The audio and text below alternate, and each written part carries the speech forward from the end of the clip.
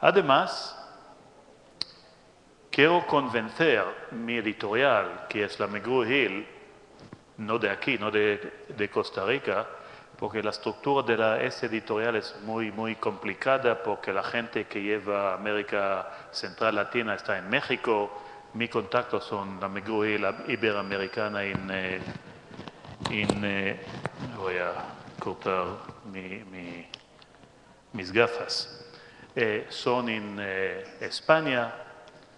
Noto también que hoy día las necesidades del libro, de texto, en Latinoamérica, en, en eh, eh, Centroamérica son distintas de que necesita la gente en España. Entonces, me voy a hacer poco una girita sobre, eh, sobre, sobre hacia dónde vamos. Entonces, yo tengo algunos libros en español.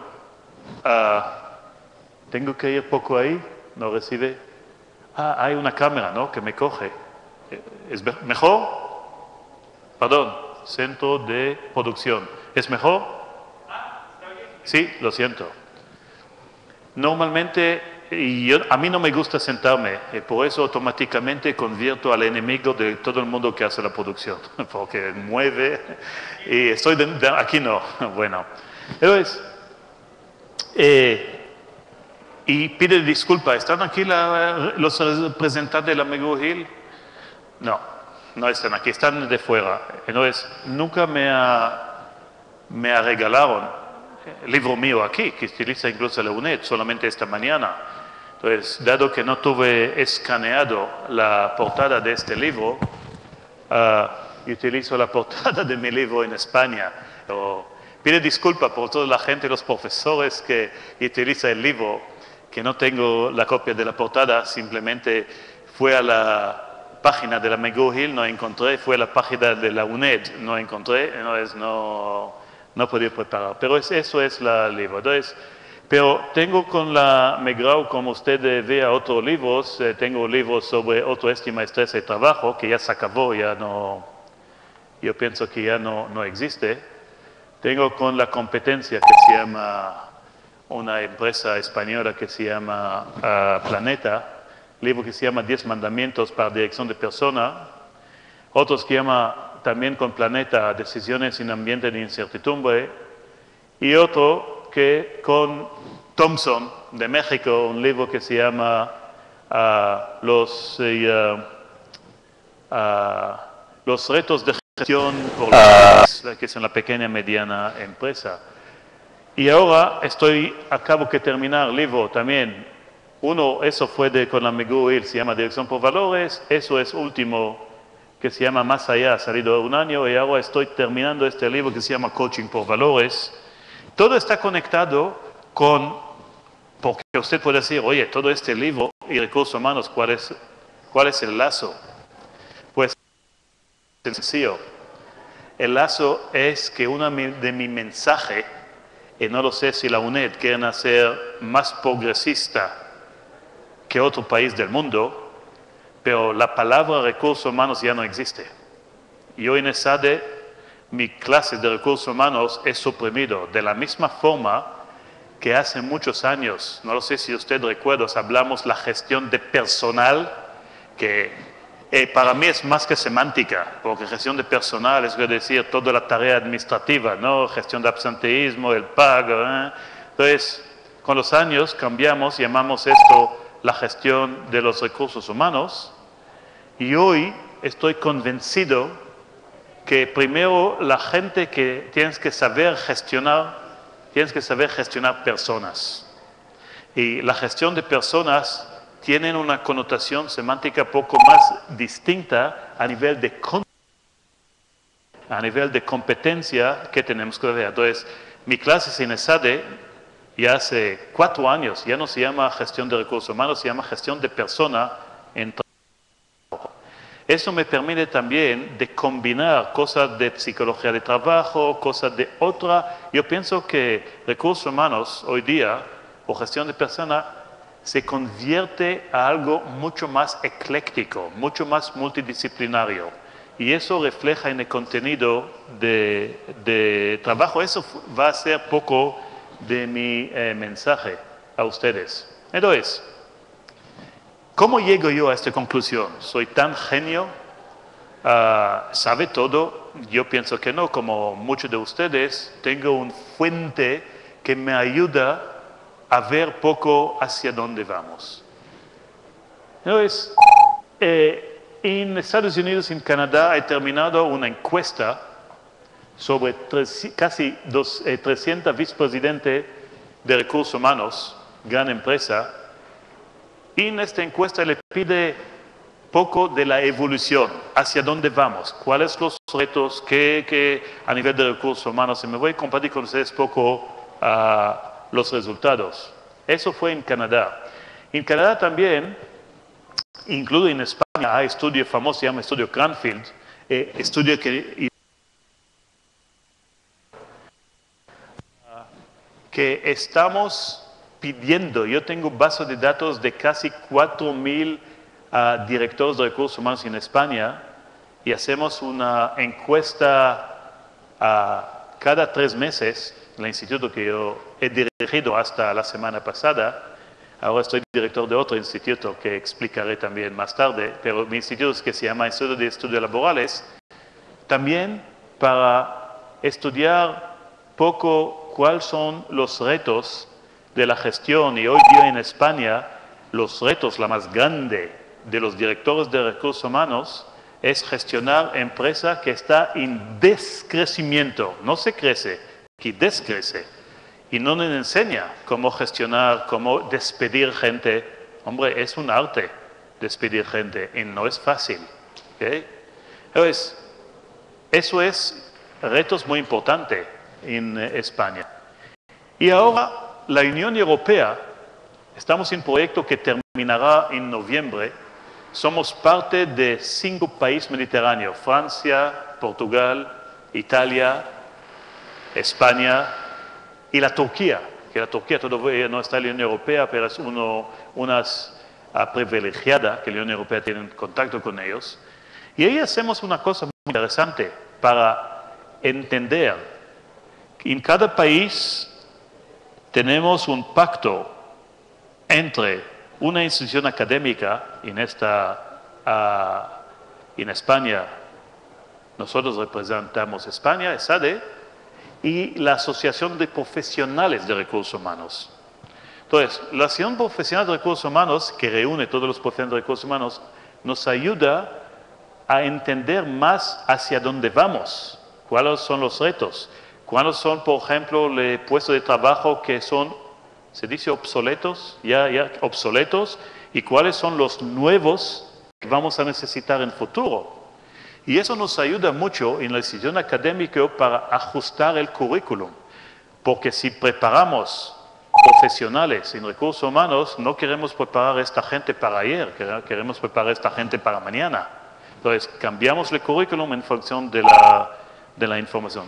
Entonces, usted vea que hay muchas fuentes aquí que me ayudan. Además, estoy preparando ahora mismo cuando vuelve viernes, ya tengo una eh, cita con Ramón Valle, que es uno de los coautores del libro que tienes aquí de fuera, para empezar a revisar nuestro libro, preparar la nueva edición. Cuando preparamos nueva edición, eh, queremos hacer dos cosas. Uno, y no digo la más importante, es hacer edición distinta de las competencias. Entonces, necesita ustedes que dice, hey, tu competencia es para saber quién son la competencia y por qué tienen libros mejores que nosotros. ¿Qué, hacen ellos distinto? ¿Qué, capítulo? ¿Qué tema? Eh, ¿Qué forma? ¿Casos? Entonces, me voy a utilizar esta plataforma para pedir ayuda. Bueno, me voy a dar mi correo. Si alguien piensa que puede ayudarnos, fantástico. Eh, entonces, y queremos preparar, queremos dejar fuera funciones, contenido que no es tan importante o que con mínimo cortamos y añadir a temas, subtemas que para mí va a necesitar el profesional de mañana. Entonces, Ramón viene Estamos ahora con la reflexión, esperamos terminar este ejercicio hasta el final de año y cuando vuelva a España, la primera cosa que me voy a hacer, después que hablaré con Ramón, que vamos a pasar toda la Semana Santa junta, juntos, para mezclar poco, una religión, los dos no somos religiones, pero poco, digamos, poco cosa de, santa eh, con nuestro, ah, nuestro libro, ¿no? Es lugar bonito, lado de la playa, donde vive yo, y es un buen lugar para reflexionar y para hacer televisión.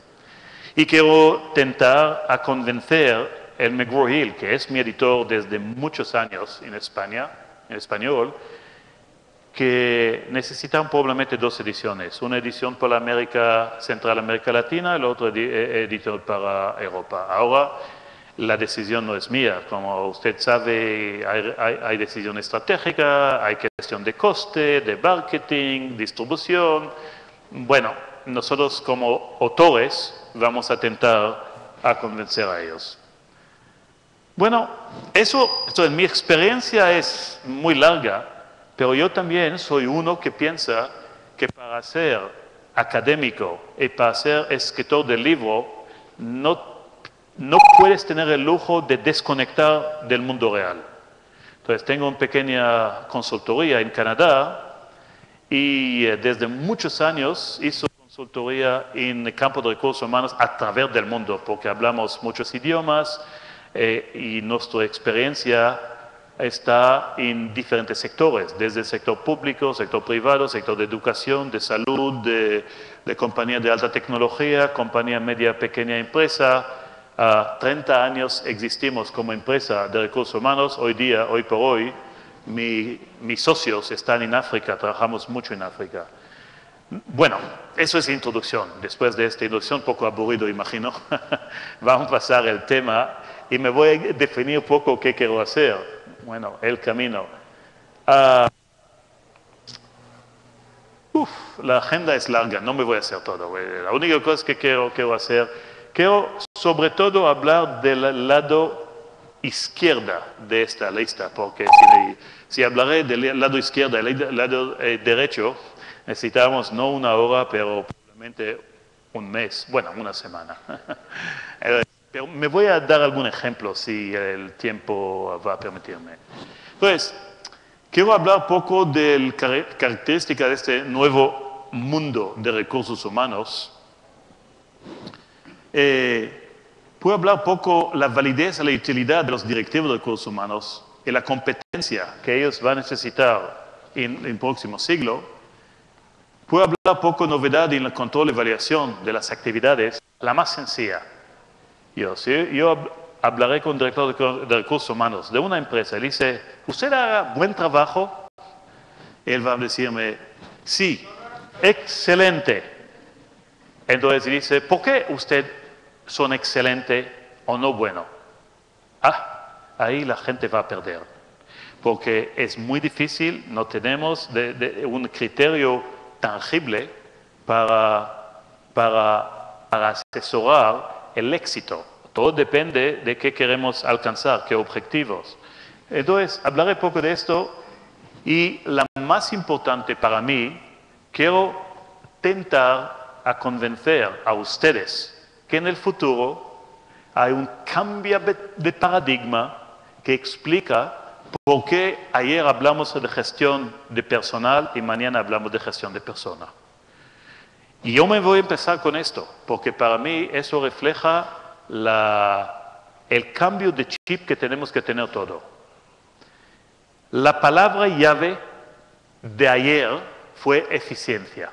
¿Eso qué, qué significa la palabra eficiencia? Producir el, mejor, el más, con el coste la más bajo. Entonces, la ganancia de producir más con coste bajo, eso es la tarea. Entonces, el ser humano fue una extensión de una máquina y la máquina podemos hablar de eficiencia. Hacer efectivo, hay veces, significa poner más recursos. Hacer efectivo es que quiere decir alcanzar, alcanzar nuestro objetivos, alcanzar nuestra misión. Y hay veces, para hacer esto, hay que invertir en más recursos, no menos. Tengo una película, trozo de película que ellos inspiraban de, mis ideas de, gestión de personas y sobre todo de cambio cultural de la cultura, que una empresa que todo el mundo conoce, no, no puede mostrar ese trozo de película, pero todo es en inglés. Todo el mundo de vosotros conoce esta empresa. Hombre, si usted va a ver qué ofrece esta empresa a sus em, trabajadores, usted va a decir, hombre, eso no es una empresa de verdad, es una utopía. Eso no existe. Es los trabajadores tienen siete restaurantes para comer y es gratis. Tienes médicos para la gente que no que tienen problemas, el médico son gratis. Tienen gente que viene para limpiar tu coche, si quieres, es gratis. Tienes sala donde la gente que trabaja hace masaje, sala de masaje, y es gratis. Y yo puedo hablar más y más. No, no, no. Y créame, no es una utopía. Eso es. Pero ¿qué necesita esta gente? ¿Por qué? Porque en el mundo que vivimos hoy, la diferencia entre una universidad y la otra universidad, ¿sabes qué? Sorpresa, sorpresa. No es el edificio físico. Bueno, tenemos edificio más lujoso, menos lujoso, pero no es que va a hacer diferencia. No es la tecnología. Tenemos todo acceso a la misma tecnología. Hoy día, ¿qué hace la diferencia entre una empresa X y la otra? Es la calidad de la gente que trabaja en esta empresa. Eso es. ¿Qué hace la empresa Recursos Humanos? Tienes que desarrollar unas políticas y prácticas que representan, no sé si alguien tiene el libro y espero que se haya guardado el subtítulo, pero el subtítulo dice todo. Ah, no, aquí no tienes, pero subtítulo en, español. Ah, la pena que no se ha guardado el subtítulo. Bueno, este libro de UNED, pero aquí eso es la más importante, pienso en recursos, en gestión de personas mañana. ¿Cómo atraer, retener y desarrollar con éxito el capital humano, que para mí es talento, en tiempo de transformación? Entonces, ¿cuál es la tarea del director de recursos humanos? Desarrollar programa maravillosa de atracción. Atraer, pero atraer de forma honesta. No camuflaje, porque todos podemos eh, tener un teatro, ¿sabes? Si yo quiero casar con esta jovencita y ella para impresionarme va a poner maquillaje y todo esto, hombre, eso puede, puede durar una noche, 24 horas y todo, pero tengo que conocer antes de casar a ella, eh, perdón por la expresión, es solamente por el ejemplo, no, no, no quiero ofender, ah, yo quiero conocer a esta muchacha desnuda sin, eh, sin maquillaje. Y si me gusta, cuando veo, la probabilidad que me voy a quedar con ella es bastante más alta cuando ve, conoce a ella con todo el maquillaje y todas las cosas que fabricamos hoy día. ¿Eh? Tenemos que desarrollar un programa de atracción. Tenemos que retener, pero no retener todo el mundo. A mí no me importa que se sale alguien que no es bueno. De contrario, tengo que desarrollar una política que me voy a desarrollar toda una estrategia. Dice, oye, me voy a ayudarte a ir a la calle, incluso me voy a ayudarte de encontrar otro trabajo, porque no añadas valor aquí. Eso no quiere decir que no eres bueno. Eso es no encajas bien, puede ser que otro lugar sí, vamos a ayudarte. Eso fue, ustedes probablemente conocen Jack Welch, ¿no? Con su idea de la 7%, que cada año hay que renovar 7%, la gente que son bajo 7% le da gracia cada año, porque eso genera rotación, competitividad interna, bueno, es su sistema, ¿no? de General Electric, es una compañía muy interesante. Entonces, hay que saber qué, qué, cultura hay que desarrollar para retener los mejores. Y eso hablo mucho en mi libro de la Dirección por Valores, la cultura distinta, cómo desarrollar este tipo de cultura que gancha a la gente, que le encanta trabajar, que le gusta trabajar. Y cómo podemos motivar a la gente no solamente dar rendimiento, todo el mundo puede dar rendimiento, pero rendimiento excelente de forma repetita, repetitiva. Eso es. Entonces, todo lo que me voy a hablar hoy día tienes que estar orientado por la atracción, la retención de los mejores y la motivación que siguen dar buena, uh, buena eh, rendimiento. Entonces, eso más o menos será mi, mi, mi, mi plan. Entonces, dado que yo conoce, yo vengo aquí a Costa Rica y admito que soy experto de recursos humanos de Costa Rica. Mucha gente aquí sabe mucho más que yo. Pero sabe aquí para decir a vosotros que hoy Costa Rica no es única. Sí, tienen marco legal que está único en Costa Rica. Pero la competencia sobre talento, incluso yo hablo de la guerra sobre talento, va a tocar Costa Rica. De la misma forma que hoy día la América del Norte están perdiendo cada día una de sus mejores cabezas, porque ya no quieren quedar ahí, ya no sabe cómo eh, retenerlo. Hombre, yo trabajé 22 años en una buena universidad en Canadá hasta que me he seducido ESADE, España. No pensaba un día que estaré ahí. Y si usted va a ver el ranking, la, la posición de nuestra escala en el mundo, bueno, por razones que no es el lugar a explicar, pero mañana tengo un seminario día entero que me voy a explicar cómo alcanzamos este tipo de cultura. Somos los 10 escuelas de negocio a lo mejor del mundo. Y no estamos en Estados Unidos, y no estamos en Inglaterra, y no estamos en Alemania, estamos en España. Eso quiere decir que eso podemos hacer cualquier país del mundo, en Brasil, en Costa Rica. Todo depende cuál es la visión que tienen y cuál es la la política ah, y la, estrategia que eligen ellos para alcanzar este tipo de objetivo. Entonces, ah, eh, entonces, hablaré poco del modelo eh, global. Primero, yo quiero hacer una observación. Yo no he venido aquí para decir, mira, ya conoce el modelo mágico. Si usted utiliza mi modelo, el, éxito está garantizado. Así no es. ¿Qué tenemos que saber? Es el menú de las opciones que tenemos. Y hay que elegir una, es como un menú de restaurante, ¿no? Todo, hay muchas, eh, en el menú hay muchos tipos de comida si tenemos hambre que va a satisfacernos, incluso algunos con buen gusto. Pero no ocurre a ustedes que depende del día de gusto. Hoy me gusta tomar pescado, el día siguiente carne, el día tercero solamente vegetariano y estoy contento. La idea de gestión de personas es conocer el menú de opciones que son disponibles. Muchos de ellos tienen coste distinto y confeccionar un paquete que funcionará muy bien dentro de un sector, dentro de un país geográfica, etcétera, etcétera.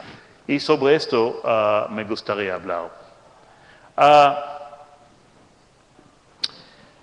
además, una de las características, la más que representa un reto, ah, yo, yo intenté hablar bastante despacio, que usted puede eh, seguirme. Es la ventaja a veces que no hablas el idioma original porque la gente no se duerme, tienes que enfocar poco, ¿no? Porque tienes que entender mi acento. A veces mal acento se convierte a una oportunidad. Eso es mi forma de ver las cosas. Entonces, ¿qué digo yo? Digo que ah, hoy día que la cosa cambia tan rápido, el gran reto que tiene mucha empresa y el papel de recursos humanos juega un papel muy importante es cómo ayudar a la gente de desaprender y reaprender. Porque el conocimiento, el siglo de conocimiento es tan, tan eh, corto que todo que funcionaba ayer ya no va a funcionar mañana. Si usted tiene un médico que es poco viejo y que él o ella ayuda a ustedes con el conocimiento que él ha aprendido cuando fue a la facultad de medicina, el riesgo es que hoy día todo que va a aplicar no solamente que no va a ayudarte, pero va a matarte. Porque la cosa ha cambiado muchísimo. El mismo es en recursos humanos. Recursos humanos estamos ahora en plan revolución y tenemos que olvidar que sabemos ayer porque el mundo fue diferente. Y empezar a hablar poco de qué necesitamos mañana. Entonces, ¿cuál es el nuevo mundo de recursos humanos? Me voy a dar algunos ejemplos, no todo porque necesito algunas horas para entrar en detalles de este nuevo mundo. Y este mundo, primero, el esfuerzo de trabajo es global, ya no hablamos de, de cosa local. Si yo necesito talento, me voy a buscar ese talento a todo el mundo. No me voy a buscar solamente en el mercado laboral, porque yo lo sé que con este talento puede hacer la diferencia. Todo el mundo que le gusta fútbol, manos arriba. ¿Dónde están los mejores futbolistas de la América Latina, América Central? ¿Está en América Central? Está en Inglaterra, Alemania, Italia, España. Bueno, así es. Eso es talento del fútbol. Yo puedo hablar de talento de arte, talento de, bueno, de canción. Eso es que necesitamos. Eso, estamos en una época donde no hay frontera. Hablamos de organizaciones casi sin fronteras, globales. Eso quiere decir que los alumnos de esta universidad, si preparáis solamente por el mercado local es el error más grande que hiciste en, esta vida. Muy Ahora, se desarrollan nuevos términos que empezamos a utilizar, se llama glocal. Eso quiere decir una mezcla de local y global. Tenemos que satisfacer dos mercados, no, no preparamos la gente, pero en general, hoy día no tenemos fronteras. Hombre, yo soy aquí, trabajo aquí, me invita porque probablemente en competencia a compartir. Tengo empresita en Canadá, es pequeña, aunque si ustedes van a ir al eh, mercado de, a la página web, da la impresión que hablamos de una multinacional. Somos multinacional de 12 personas. Fíjate el, cómo cambia el mundo laboral. Y hoy dice que ha cambiado mi tarea porque desde la semana pasada dejé el Instituto de Estudios Laborales porque pensaba que es pasado, ya no hablamos, y hoy desde esa, de esta semana próxima estoy eh, dirigiendo un instituto que se llama Future of Work, el futuro del trabajo, porque el concepto de trabajo cambiará que no puedes imaginar.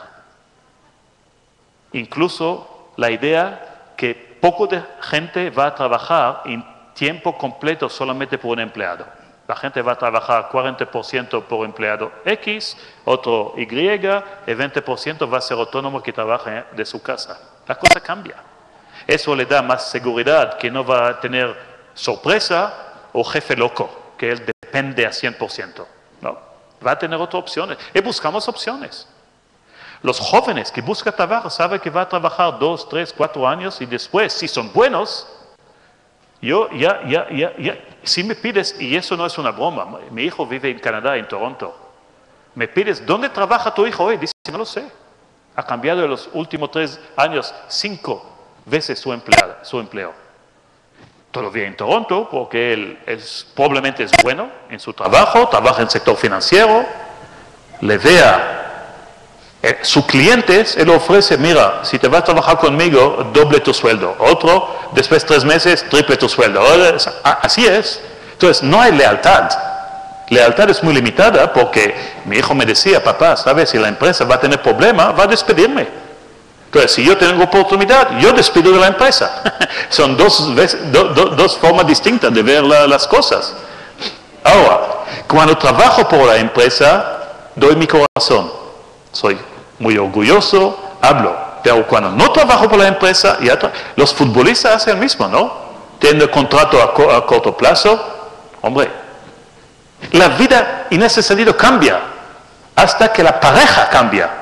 Yo lo sé que cuando casamos, casamos por el resto de la vida, pero en la estadística separación, divorcio dice que la mala suerte no es para el resto de la vida. No lo sé que en el futuro vamos a tener eh, negocio para, oye, vamos a casar por siete años, después vamos a negociar. No, no lo sé. no lo sé. Porque la realidad no podemos cerrar los ojos. Eso que ocurre. Si queremos, no queremos. La, la, la verdad que es esto. Trabajo también. Pues, yo, tengo, yo vivo ahora, bueno, hago la ida y vuelta. Vivo sobre todo en Barcelona. Tengo una empresa en Canadá y los servicios son en África del Oeste. Eso es tipo de empresa hoy día. Por razones que no puedo explicar, hicimos una... Porque hoy día una empresa de consultoría como, como mío sabe que la única forma de tener éxito es no, no, no es trabajar con más esfuerzo. Eso es ayer. Hoy hay que trabajar de forma más inteligente. Eso quiere decir, con el mismo esfuerzo, en diferente mercado, que duplicar, triplicar eh, los ingresos, si podemos también duplicar el bienestar, divertir cuando trabajamos, añadir valor a la sociedad, podemos hacer muchas cosas, pero eso es distinto. Trabajamos, uh, mi, mi, mi, mejor cliente es el Banco Mundial. Es solamente ejemplo. Entonces, el concepto de fuerza de trabajo es global. Trabajo hoy, mañana, si soy bueno, siempre. Porque si no soy bien bueno, quedo en un mueve y la pobre empresa que me emplea y no sabe qué hacer conmigo, y ya soy funcionario, sé es un problema. ¿eh? Y hay que desarrollar un programa para gestionar gente que se ha convertido, en inglés se llama dead wood, ¿no? Eh, madera, madera muerta. Bueno, son vivos, pero son muertos. ¿eh? Así es. Otro ejemplo que he dado esta tarde es para demostrar poco del tipo de negocio que tenemos, es la virtualidad, que usted sabe muy bien. Bueno, no, no, no hace falta que viene el cliente aquí, usted ve el cliente a través de a través del vídeo y la próxima vez eh, Ah, puedes eh, pedirme que dar la misma charla, pero estoy sentado en mi eh, silla con pantalones cortos a la playa en, Barcelona y me voy a dar esta charla. No tengo que viajar 14 horas. Eh, es que quiero decir, se puede hacer, hago esto para Tec de Monterrey dos veces por año. Entonces, me ahorro viaje, me ahorro tiempo y gano el mismo dinero, ¿sabes? También. Entonces, no hay pantallas enormes. Hoy día hablamos de Internet 2, la tecnología que permite a la gente pedir preguntas. La tecnología permite muchas cosas. Todo eso es que decir, es nuevo mundo. Entonces, hablamos de fuerza de trabajo global, sin frontera. Y cada vez vamos a tener más y más presión en nuestra competición para tener ese tipo de gente. Por eso dice, hablamos de guerra de talento. Telecomunicaciones globales, todo lo que ocurre aquí, todo lo que ocurre en Japón, tiene impacto inmediato en todo lo que ocurre en Japón. Japón ahora ha perdido 30% de su capacidad eléctrica por la pequeña, ¿no? pequeña accidente que tuve ahí. Eso quiere decir que ellos, para tener sus necesidades, entran en el mercado del petróleo, el mercado del petróleo está saturado, el precio del petróleo sube. Y todo eso ocurre rapidísimo. Todo lo que ocurre, ya no hay refugio, no puedo decir, no, no, estamos en San José, estamos protegidos del mundo. No sois, porque el mundo está interconectado con sistemas de telecomunicaciones globales, organizaciones globales, e incluso la competencia está global. Si usted puede eh, ofrecer servicio bueno más allá que San José, bueno, ya estás en el mundo global. Y si no puede ser solo, puede ser con alianza con alguien que puedes ayudarte. Entonces la alianza es otra cosa típica. Entonces, eso quiere decir que hablamos de directores de recursos humanos que tienen eh, nueva tarea, nueva realidad, nueva rol, nuevos papeles, nuevos objetivos. Es parte de la organización sin frontera, hay empuje para solución rápida. Tenemos que tomar decisiones rápidas. muchas organizaciones no tienen este tipo de flexibilidad y pierde oportunidad porque hay que mover rápido. Oye, el señor Duran está en Costa Rica, vamos a mover rápido que viene a dar charla aquí. Si, si, no puede hacer esto, ya no, no digo que, que vale la pena, eso no lo sé, pero dice, es, si, ah, necesito el vicerrector que va a firmar papel, el vicerrector tienes que hacer una reunión, hasta que pasa todo esto, ya, no, ya la oportunidad ya no está. Entonces, la organización necesita la gente que es un agente de cambio para empujar la empresa, tener ese tipo de estructura eh, y flexibilidad es gente de recursos humanos.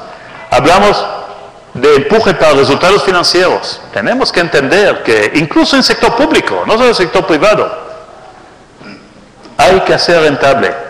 Yo hablo de la universidad, no sé si todavía va a tocar, me voy a dar un ejemplo de Quebec porque yo trabajé como consultor a la Oficina de Recursos Humanos del gobierno de Quebec. Uh, usted sabe que en Canadá las provincias son como estados, tienen mucho más poderes sobre salud, educación, eh, hacienda y más cosas. el gobierno federal está menos importante.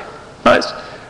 Educación, el dinero de la pública viene del ministro o ministerio, ministerio de la educación. Bueno, entonces empezamos a pensar cómo podemos introducir sector público más competitividad. Bueno,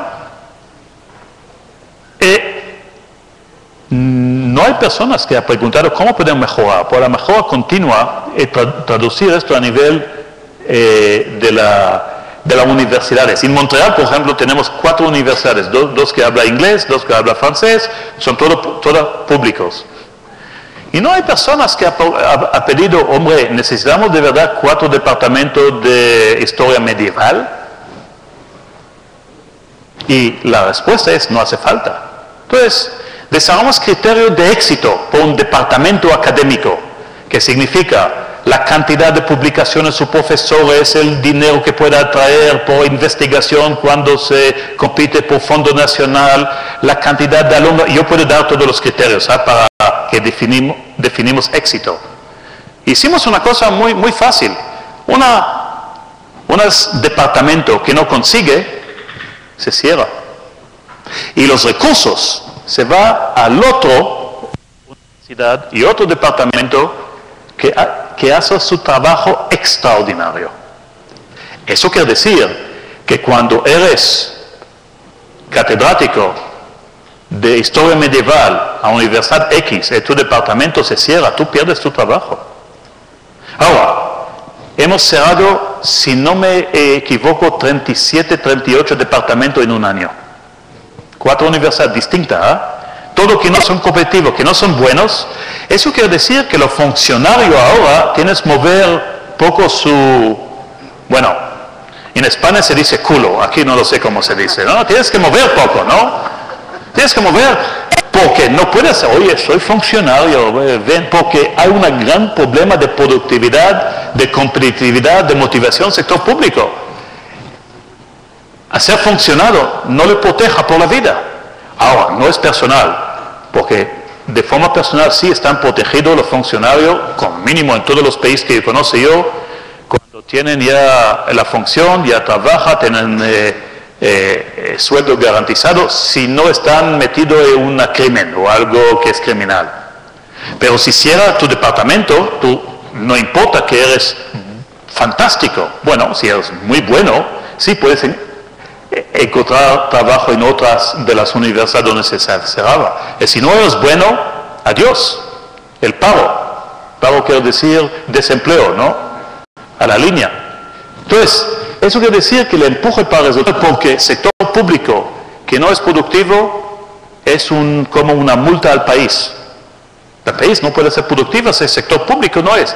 No podemos depender solamente del sector privado que va a ser más eficaz, más eficiente. No, el sector público es importante y hay que introducir elementos de competitividad, de responsabilidad, de profesionalismo en este sector.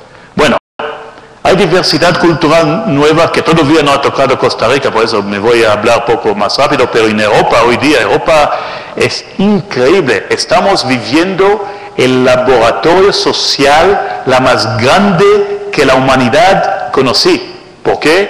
Porque somos 28 países.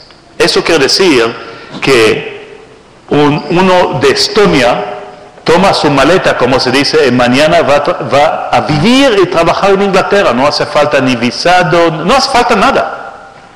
Eso quiere decir que la persona de Estonia, si tienen algo para vender, tienen competencia, va a vivir en Inglaterra y va a escoger una plaza de un inglés imbécil que no tiene la competencia. Eso quiere decir que el mundo está, pero eso quiere decir también que a nivel de formación es muy, uh, ocurre mucho, y yo puedo hablar de Canadá, que conocen mucho, Canadá también es un mosaico de inmigración, de inmigrantes que vienen de otro, de otro país del mundo, y muchas veces pensamos que la diversidad es una invalidez, porque la gente viene con diferentes sistemas. Y puede ser invalidez si no sabes gestionar. Pero cuando gestionas una diversidad, se convierte a un potencial que no puedes imaginar. Y eso que ocurre hoy día en Europa. Con diferente idioma, vienes con diferente capacidad, valores. Hombre, la mayoría de los gerentes no tienen experiencia para gestionar gente que vienen con eh, género distinto, edad distinta, cultura distinta, valores distintos. Eso es un reto muy, muy importante. Entonces, la diversidad cultural, una de las cosas más importantes en el futuro, que ya empezaba, es que el nivel de escolaridad de la gente está cada vez más y más alto. Entonces, si la universidad, la UNED, el vicerrector así, me hace una propuesta, me dice, ¿por qué no te vas a trabajar en nuestra universidad? Dice que sí. ¿Quién va a ser mi jefe? Dice, yo estaré tu jefe. Dice que sí. Entonces, estoy trabajando ahí, yo tengo un nivel de escalada alto, él también. Es si mi trabajo que me pide es aburrido, es si no puedo aprender nada de él y es mi jefe, ¿por qué tengo que quedar? Solamente por el dinero, ya ha pasado. Nuestros padres, nuestros abuelos trabajaban solamente por el dinero y poco por eso. Hoy día no. Hoy día queremos crecer, hoy día queremos aprender. Y no solamente crecer es la línea recta de la carrera que conocemos, bueno, de gerente, supergerente, hay límite. Todas las organizaciones tienen una estructura piramidal, hay menos plaza en el alto y hay menos ahí. Entonces, crecimiento es distinto. Entonces, gestionar nueva generación de trabajadores tiene mucha expectativa.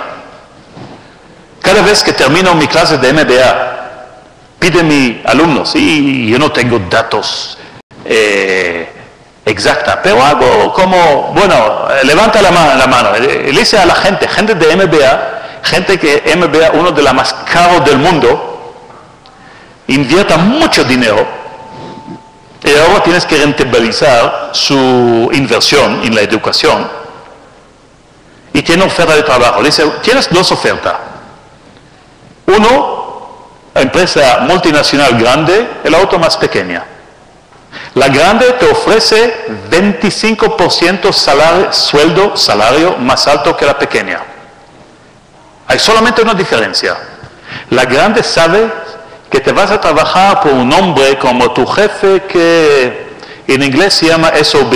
Eso, eso quiere decir alguien duro, muy duro, cabeza muy dura. ¿ah? Bueno, es su jefe. ¿La cual te vas a escoger? ¿La una o la otra? 80% de mi alumnos dice, no, no, no, yo me voy a olvidar, yo quiero calidad de vida. Yo no trabajo solamente por el sueldo. No quiero gente que va a complicar mi vida quiero crecer, quiero innovar, quiero contribuir, quiero una empresa dinámica. Si hay un jefe con cabeza dura, ¿sabes? Cuadrada, que no me deja de... Yo no quiero. Y los 20% dicen que sí, dicen, no, no, no, yo necesito más dinero para pagar mi estudio. Pero el momento que termino pagar mi estudio, me voy a la otra empresa a trabajar. Quiero decir que la dinámica es distinta y eso es los retos, eso es que hay que entender en el eh, mundo que vivimos. Bueno, entonces, en nueva realidad hay mucho cambio. Ah, los negocios se producen más global, disperso geográficamente, virtual y mucho más complejo. El ciberespacio, el que realiza eh, transiciones. Ah, bueno, el contexto, los clientes cada vez son más exigentes, ¿okay? demandan más, la empresa tiene que satisfacer este cliente, la competencia cada vez es más global, es más difícil. Ah, eso quiere decir que qué tipo de organización necesitamos que va a tener triunfar mañana. Son que tienen velocidad y flexibilidad, que trabajan sobre todo con equipo, porque solos ya no podemos trabajar. Una universidad donde se siente local y global, eso que llamamos local, eh, que hay diversidad multicultural que tenemos que fomentar y tenemos que gestionar que tenemos negocio conjunto, que, que, sabemos que solos no podemos hacer todo, que tenemos generar todo tipo de alianza. Alianza entre gente que trabaja en diferentes departamentos, en la misma universidad, alianza con la gente que son nuestro jefe, alianza con otras organizaciones. Y para mí alianza significa que uno más uno es más grande que dos. Si son solamente, solamente dos, no, no veo la lógica para tener alianza. Eso es el tipo de mundo. Entonces aquí, que no veamos es que dice que todos los, eh, bueno, yo me voy a pasar, sí, todos los días un nuevo uh, competidor, cada semana una nueva uh, invención, todos los meses una nueva posibilidad y cada año un nuevo sector industrial que ya no existía. Vivimos en un mundo que cambia mucho, eh, muy rápido. Uh, yo me voy a pasar algunas. Entonces, algunas creencias que la gente que gestiona persona tienes que hacer un esfuerzo para cambiar, porque si comparte ustedes o la gente que conoce esta creencia, bueno, que el cambio es peligroso, que el conocimiento está arriba y no abajo, que el eh, producir es eh, lo que cuenta, que el interés por la persona genera más gasto que beneficios que el trabajo de equipo es difícil y consume demasiado tiempo. Qué equivocación. Que el empleado, ¿dónde está mi cosa? Ah. Que el empleado no se le paga para pensar. ¿Sabes? Muchos eh, gerentes se bajan desde, ¿qué hace usted? Dice, yo pienso. Hombre, yo no te hago para pensar te pago para trabajar. Gran equivocación. Por la gente de esa generación que habla, yo no hablo de alguien que trabaja la cadena ¿no? de asamblaje, la producción, yo hablo de gente de, más educados. Que cuando mayor eh, definidas especializadas sean las tareas mejor. Gran equivocación. Hoy día hablamos de multitareas, hablamos de gente que tienen, que puede hacer muchas cosas, no solamente una porque ya, ya terminamos la super especialización. No ayuda. Bueno, y el contrario es para éxito. El cambio es una oportunidad, no es una amenaza. Son paradigmas, que el mundo es un mercado sin frontera, que la creatividad y la innovación son determinantes de la competitividad. Hay que innovar. En la cultura de innovación todo el mundo habla, pero se queda a nivel de hablar. Porque innovación siempre lleva riesgo. Yo, por ejemplo, ayer por la noche he añadido algunas uh, diapositivas. Ahora, puedo venir aquí y repetir como un disco duro, ¿no? Todo lo que conoce yo. Y hay profesores que desde que salí de la universidad siempre hacen el mismo, pero lo mismo ha cambiado y son muy buenos.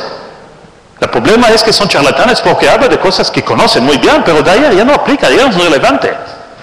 Yo prefiero, por ejemplo, hacer más innovador con el riesgo que comparto cosas que todavía no, no soy especialista. Porque la innovación lleva riesgo. Es poco como eh, mi famoso gesto de péndulo. ¿Sabes el péndulo? Péndulo que se mueve. Eso es el gesto de péndulo. Si mueves poco, innovas poco pero ahí no hay mucha innovación, no tomas riesgo. Cuando empiezas a mover el péndulo, la distancia aquí entre innovación de verdad y la estupidez total es muy cerca. Pero así es la innovación. y más que esto, si quieres innovar, tienes que dar a la gente oportunidad de utilizar la nueva habilidades que ha aprendido, porque si ya conoce la versión 3.8 de algo, y manejo bastante bien, pero ha salido 4.2. Hombre, yo aprendo 4.2, pero no soy muy bueno y hago errores, normal. Si la empresa te dice, mira, no, no, no, no, tú aprendes lo nuevo y desde el primer día tienes que manejar perfectamente, no es realista. Porque todo lo que aprendimos con nuevo hay que repetir. Yo hablo ocho idiomas, la gente dice, usted es genio, ¿cómo habla ocho idiomas? No, es la actitud. Hacer positivo. La voluntad de, la voluntad de utilizar el idioma con los errores. Yo nunca entré a un clase de español, no, no por un día, no por una semana, no por una hora. Aprendí de la calle. Y que cuando alguien me corrige, estoy agradecido. Eso no quiere decir, porque llegué a la conclusión, yo imito niños. Todavía los niños, los inmigrantes, cuando vienen, hablan mejor, más rápido, con buen acento. De todavía, cuando yo lo sé, que cada vez que, que, que, que mete al acento y enfoque sobre la R, R, R, ya no me sale nada de la boca. Dice, bueno, olvido de que más importante es comunicar que la dicción. Es evidente, hay gente que le molesta, entiendo. Y tengo respeto a esta gente. Para mí es la comunicación que fluye. Y para hacer esto, tienes que ser valiente niños. niños aprende idioma porque repite, imita, no tienen vergüenza de hacer errores. Adultos tenemos, ah, ¿qué va a decir mi calidad? Bueno, tienes la vergüenza, no aprendes. Es una opción. Mi opción es aprender.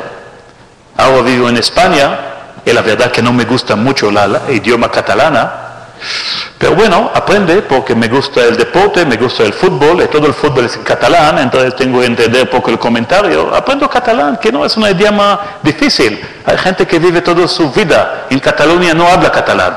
Bueno, ¿Por qué? Porque es más aquí, en la mente, que la dificultad de verdad.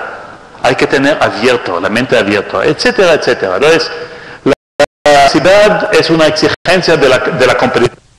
La capacidad organizativa se deriva de las, sus recursos humanos, necesidad de potenciar el autocontrol más que el control jerárquico. Y eso es todo cosas que hablo yo en mis seminarios sobre la reingeniería cultural, pero eso no tengo tiempo a, desarrollar aquí. Bueno, algunos eh, ejemplos de papeles que ha cambiado y cambiarán mucho en futuro en el campo de recursos humanos. Aquí usted ve más o menos sondaje que tenemos los años 90. El sondaje viene de Estados Unidos, Canadá, ahora España, Francia. No lo sé, si exactamente estaban aquí, pero no me sorprende si la tendencia sí sigue de la misma ah, dirección. Entonces, aquí tenemos la cosa del 90 y aquí tenemos el 2011 o 2012 mañana. Entonces, si en 1900, al principio, al final del siglo... Eh, el siglo ah, la mayoría de los recursos humanos fueron los bomberos para pagar, eh, enseñando, para hay que pagar y hay que controlar el absentismo, hay que hacer otro. Hoy día juega más y más papel estratégico. Muchos vicepresidentes de recursos humanos de empresa grande son miembros del consejo de administración de la empresa. Porque antes alguien toma decisión, después eh, pedí de recursos humanos, oye, necesitamos tres ingenieros, necesitamos cinco eso, eso que ocurre ayer. Hoy día, antes que la empresa decide abrir una planta, no lo sé dónde, recursos humanos dice, no, no, no es buen lugar para abrir, es verdad que la electricidad es barata, es verdad que tenemos agua, pero el mercado local no vamos a conseguir recursos humanos para la planta, tenemos que ir más lejos, eso quiere decir que vamos a tener coste distinto. Y la gente dice, ah, sí, no pensamos de esto.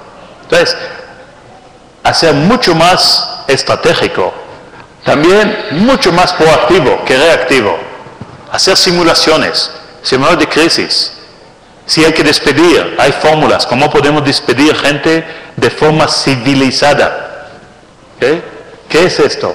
Es proactivo, es simular. De, dejar muchas cosas para simular, ah, eso es la tarea.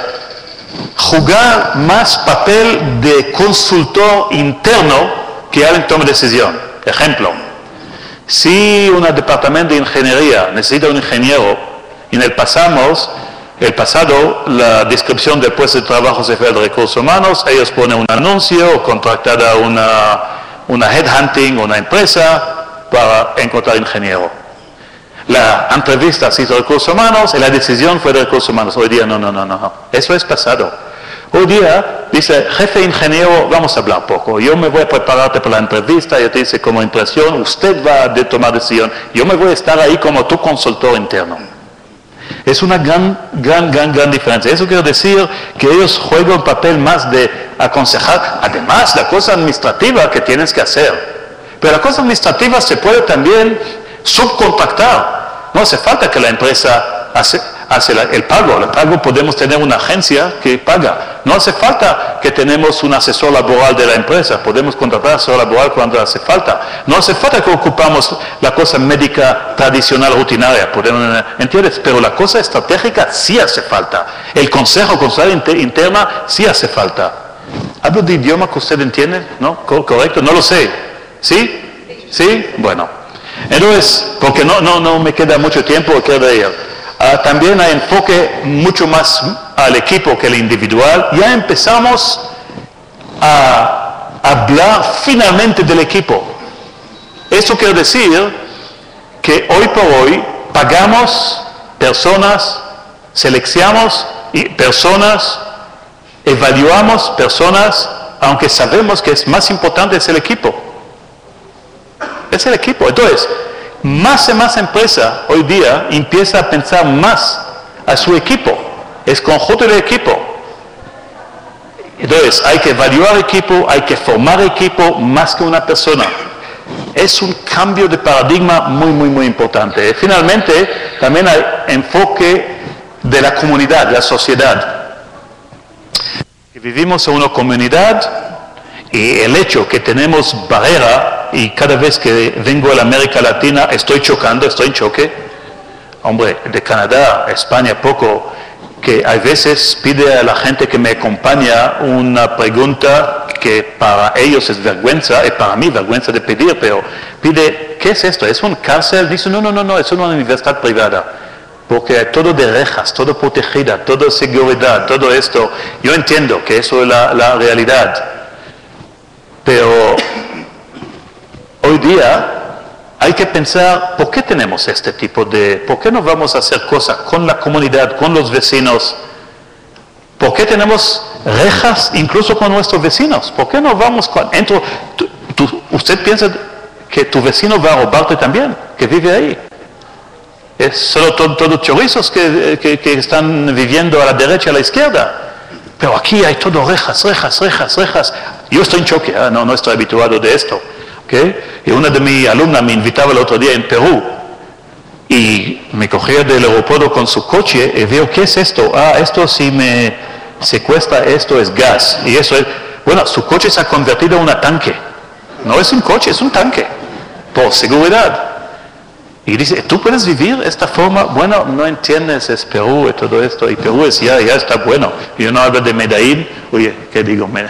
O otros lugares del mundo, o incluso nuestro amigo de, de Chávez de Venezuela. Bueno, no, no me voy a, a, entrar en un campo político. Entonces, ¿dónde puede influir recursos humanos la competitividad de la empresa? Bueno, seguro que un buen control de coste con sistemas de compensación, selección, en, eh, eh, internados, relaciones laborales, salud y seguridad. Mejora la calidad, mucho sobre calidad, mucho por eh, generando capacidad distintiva y también asume un papel más estratégico sobre todo. Y eso es mi misión de convencer a la gente que los gerentes de recursos humanos están en el mejor lugar para llevar un ah, proceso de cambio en la empresa.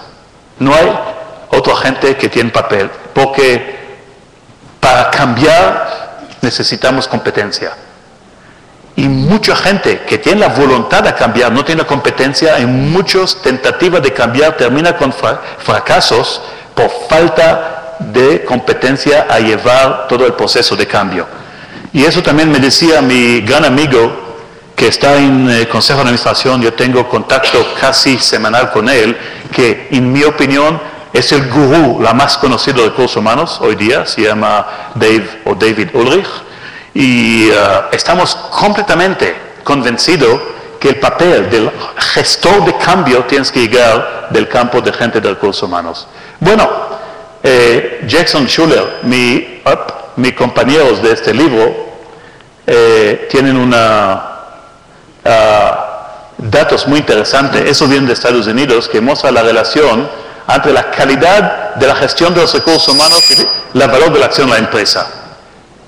Seguro que mejor que gestión de recursos humanos, el valor añadido general a la empresa es marcado. Usted aquí puede ver la relación. Bueno, yo he preparado mucho más cosas, la verdad que eso es típico, el libro, el libro típico ah, mío. Eh, los desfallos, ya hablamos, son desfallos del siglo XX ah, que son económicos, tecnológicos, sociopolíticos, demográficos y organizativos. Todo esto son desfallos muy, muy importantes. Ah, y yo me voy a pasar algunas, eh, porque aquí hablé poco de las funciones, de las funciones que conocemos y qué, qué hay que hacer en cada uno de estos. Yo necesito, tengo demasiado diapositiva para una, ah, una charla de una hora, pero quiero llegar a, a, la tendencia que probablemente va a estar reflejada en, mi próximo, en nuestro próximo libro. Gestionar reducción de empleado. No estamos preparados por esto, para, gestionar eh, despidos y todo esto. Y hay que dar, gestionar fusiones y adquisiciones, que sabemos es cada vez que hay fusión de dos empresas, 8 sobre 10 fusiones termina con fracaso. Y una de las razones es que cuando una empresa compra a otra empresa, hace, en inglés se llama due diligence, se, examina el estado, la salud financiera. Gran error, tienes que también que hacer una auditoría de cultura. Es como tenemos que mezclar dos culturas y no hay personas. El agente de recursos humanos son la persona estratégica para hacer la auditoría, para planificar la fusión a nivel de personas. Porque si no, ¿qué ocurre? Los mejores de la empresa que fue comprada por otros son mejores, entonces tienen currículum, pero el currículum no quieren quedar, se fue. ¿Qué queda? Ellos que no tienen currículum. Y muchas empresas se quedan queda con, perdón, la expresión, pero los más marginales, el empleado, los mejores ya están. Entonces, ah, aumento de participación estrategia de esta gente, aumento de relación con directores de línea. Ah, la mayoría de los programas académicos de recursos humanos ahora está dentro de la escuela de negocio porque una gran error de los directores de recursos humanos de empresa que no habla de la idioma de los gerentes no conocido un spreadsheet, no sabía cómo se medía cosa financiera, ah, de marketing, entonces tuve la impresión de los otros directores, mira, ellos es, de recursos humanos, es la buena gente, ¿sabes? Pero, no, hay que saber y hay que ganar credibilidad.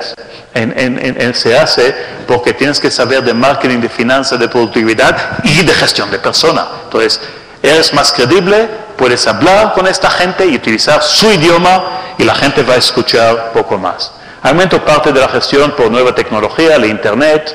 Uh, en el papel yo pienso desear una ah, cultura distinta y por eso hablo de la, de, no solamente de consultor, pero hablo de coaching.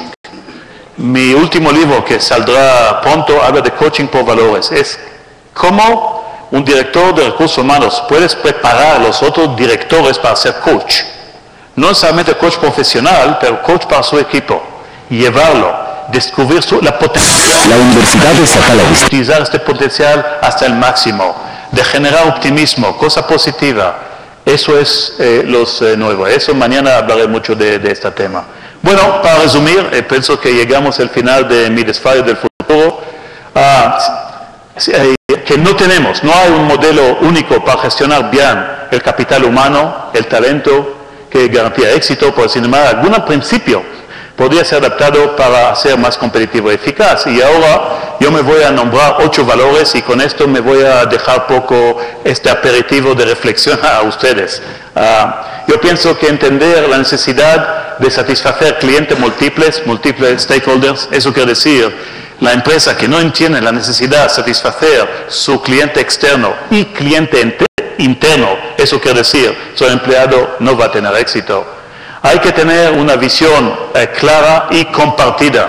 Cuando la gente no comparte la visión de la empresa, no va a movilizar, no va a usar su talento, eh, son muy uh, indiferentes. Desear una cultura distinta, eso es que, que, hay que hacer, se puede hacer, no es una utopía, una cultura donde la gente comparta valores, tener un buen sistema de comunicación, de redes y sistemas que la gente va a saber quién son los dueños, qué ocurre en la empresa, hacia dónde vamos, muy importante.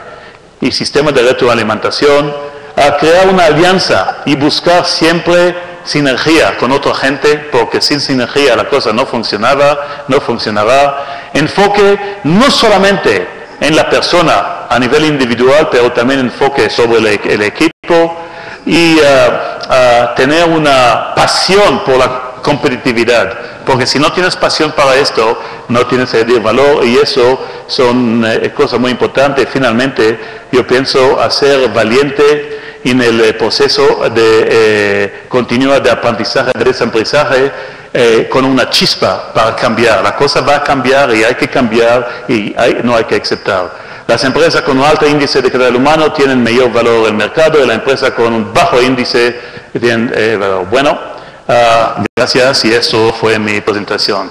¿okay? Estoy agotado. ¿eh? Muchas gracias.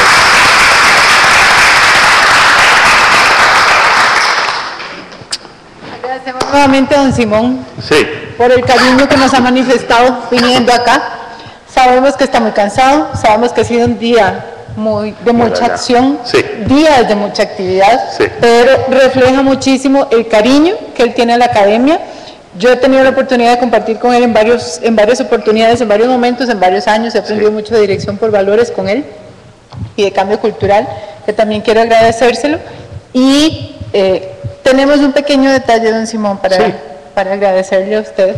La compañera Glenda Ah. de la Cátedra de Recursos Humanos, ah, tiene un detallito, un detallito, un cariñito realmente que la universidad le ofrece. Muchas gracias.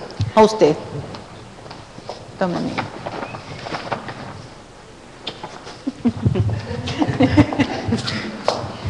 Muchas gracias, don Simón. Gracias. Gracias, ¿eh? Muy bonito. Gracias. Espero, que eso fue tu... Uh, gracias por pasar esta tarde conmigo. Es una decisión estratégica, ¿no? De estar aquí, no de estar en otro lugar. Entonces, eh, espero que fue capaz de satisfacer algunos de vuestra expectativa. Muchas gracias por estar aquí. Adiós. Días,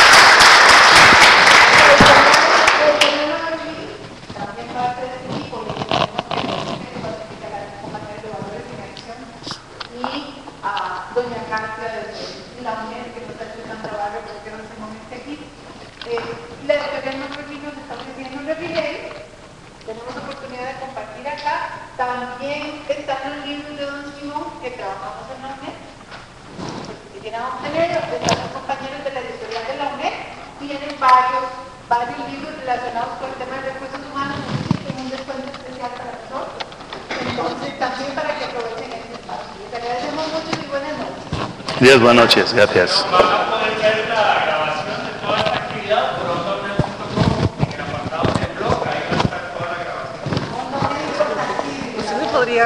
Sí, con mucho gusto. Me encanta su libro. Le daría una vuelta a una, a una, parte de calidad, la pondría posiblemente en